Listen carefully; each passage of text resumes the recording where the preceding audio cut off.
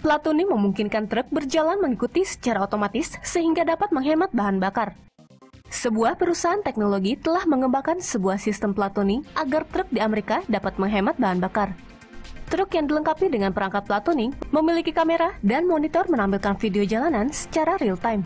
Pemimpin truk berkomunikasi dengan truk-truk lainnya setiap 30 milidetik melalui sinyal radio. Truk dapat terpisah hingga 50 kaki. Pemimpin truk menetapkan kecepatan dan truk lain akan mengikutinya secara otomatis. Pengemudi masih ada di dalam semua truk, tapi mereka dapat melihat kondisi pada jalanan di depan truk pemimpin pada monitor mereka. Perusahaan mengatakan platooning dapat membantu pemimpin truk menghemat 4,5% bahan bakar rata-rata, sementara truk di belakang dapat menghemat sebanyak 10%. Sistem ini diperkirakan akan diluncurkan tahun ini.